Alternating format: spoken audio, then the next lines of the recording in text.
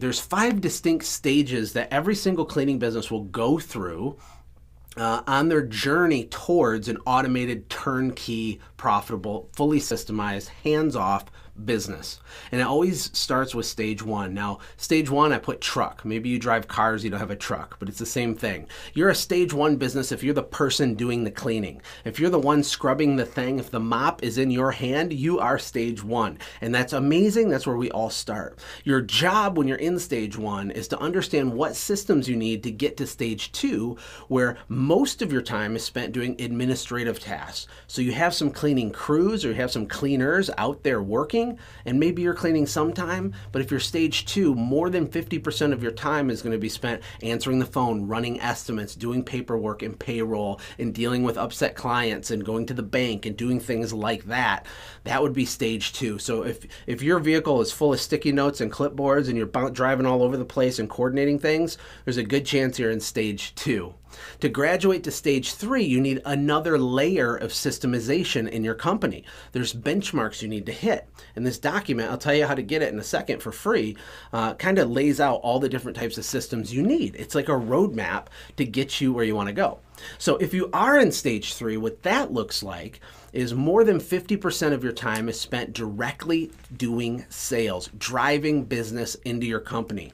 Or as I like to call it, you're feeding the beast. You know, after you get a bunch of employees, maybe you have five or 10 cleaners and you have an office person, maybe even a couple people in the office. What happens is there's a lot of mouths to feed, and your job in stage three is to feed the beast to make sure that you're always at capacity with your revenue goals and that your sales are on track. You're building relationships, you're networking, you're doing direct sales, you're shaking hands and kissing babies, you're doing estimates, you're doing all this stuff to feed the beast.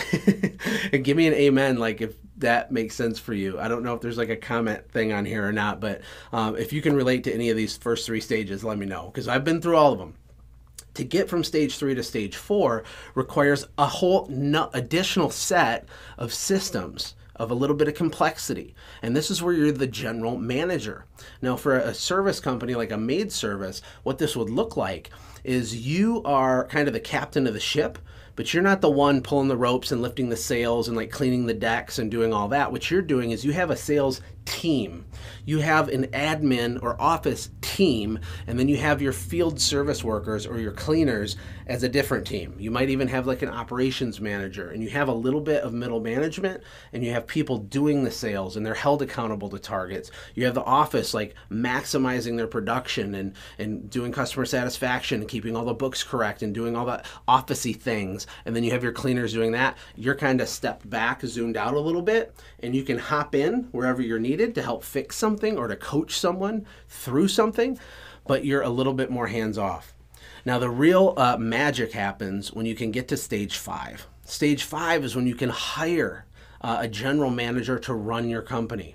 Now, your business needs to be at a particular size to kind of feed all the mouths involved and having a, a business large enough to do this, but it's not as hard as you might think. You can get there a lot quicker, especially today, than ever before in history, than most of you might think. Some of you have had companies for 10 or 20 years and they're still really small and you're a stage one or stage two business. But I'm telling you, if you can get obsessed with this idea of systems, if you can get obsessed with understanding your numbers and putting a few things in place, uh, it can happen really quick. It can happen really quick.